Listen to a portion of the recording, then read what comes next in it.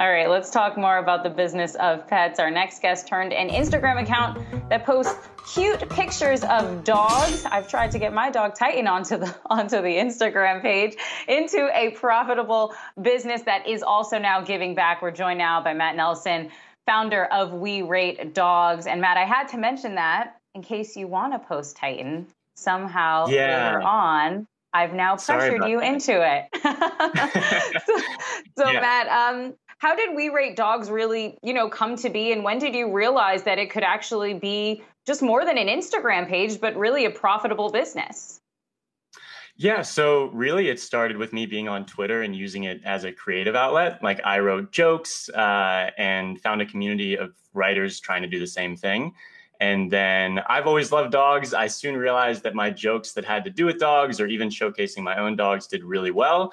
And so when I was a bored college freshman, I started We Rate Dogs and had about 10,000 10, followers on my personal account to market it to. And it just, it just blew up immediately. It was like the perfect storm that, that Twitter must have been waiting for.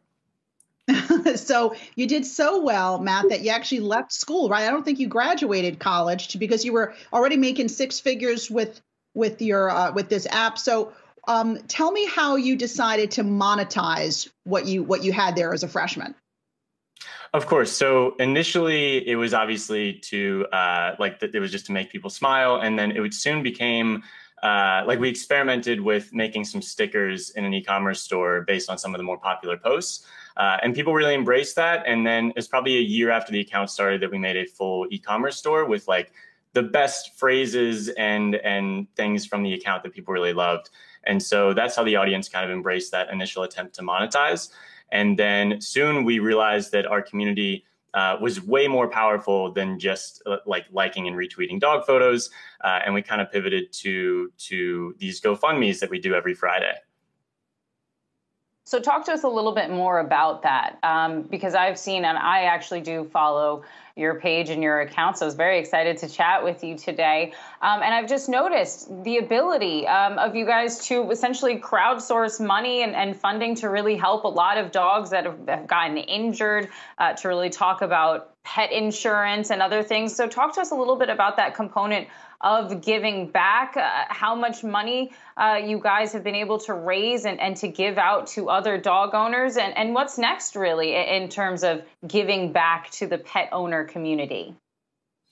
So to date, and we really started this this GoFundMe effort uh, with the first Friday of 2017. So in those four years or so, um, we've raised over 1.6 million dollars and have been able to help hundreds of dogs, uh, which is amazing. I'm not sure how I curated a, a, community that is so empathetic and and passionate about dogs, but uh, it's been wonderful to see. And yeah, every Friday, and, and so these are mostly for dogs that need unexpected surgery or treatment, and that can range from from $4,000 to $20,000. Pet healthcare is very, very expensive. So, uh, but my audience sees that goal. They understand how GoFundMe is gamified, and we try to gamify it even more.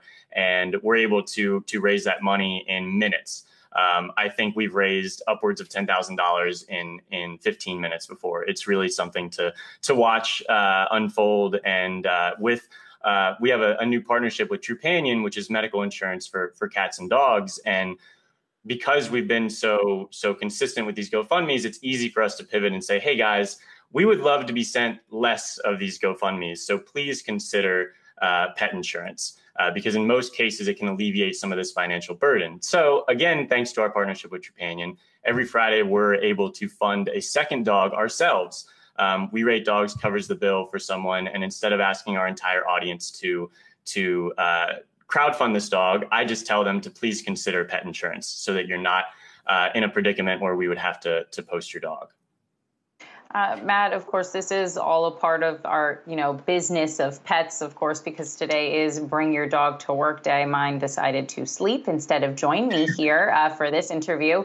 Uh, but curious to know because we were just showing some some figures, some stats right there on how much money is really being spent on dogs, but also cats and other pets. I'm curious to know, especially after the year like the one that we just had how much you see pet owners really just spending more money or, or expanding into pet ownership. Where do you see this industry going since you started it? So something it's been it's been wild to behold like people the growing love for dogs and treating them more and more like a member of your family is as a dog lover it's amazing to see uh, and so i think that number will continue to increase as they're treated more and more like uh, a member of your family and as people have less kids like dogs are considered uh, uh for a lot of people their children so I think that that'll continue to grow and hopefully it'll grow in a responsible way. During the pandemic, we were inundated with pandemic puppy submissions uh, from people that had more time on their hands and went and got a puppy. And we hope that our community is uh, is not the type to return those dogs once they have to go back to work or return to their normal lives.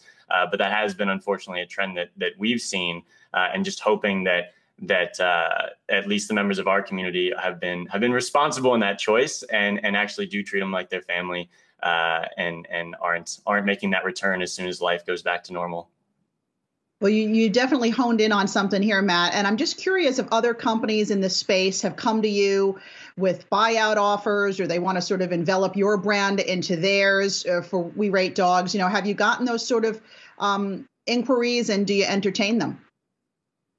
We do entertain them. I think that it's still my baby, and I love the creation, They're the uh, creative part of it so much that it'd be hard to give away. But with partnerships like Trupanion, and then we also have a long-term partnership with Just Food for Dogs, with it, which is a, um, a pet food company. Uh, I think with with those partnerships, it's allowed us to kind of be um, a little bit more independent with our creative, uh, and having um, like those two choices uh, are are very very aligned with our mission of just celebrating dogs in general. Um, I think that having pet insurance and feeding your dog a quality uh, quality food are what helps you celebrate them and, and, help them live longer. And so those those very purposeful partnerships are are not made by accident. And uh, I think we're we're looking forward to to continuing to create a community that is that is that loves their dogs and does what they uh, what they what they can to to make them happy.